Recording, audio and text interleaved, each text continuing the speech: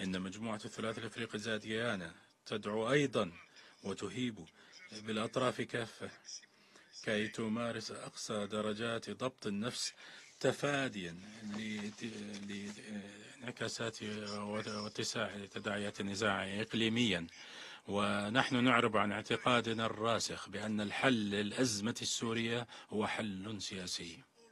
كما يتعين أن يكون حلا يكفل الحفاظ على سيادة سوريا ووحدتها واستقلالها وسلامة أراضيها.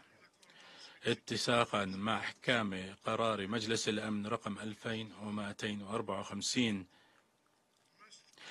ويتعين أيضا أن يكون الحل قائما على عملية شاملة عملية سياسية شاملة بقيادة سورية. لذلك نحن ندعو إلى استئناف عمل اللجنة الدستورية في أقرب فرصة ونناشد الأطراف كي يقدموا الدعم والمساندة لجهود المبعوث الخاص كي يطبق وينفذ تدابير وإجراءات بناء الثقة.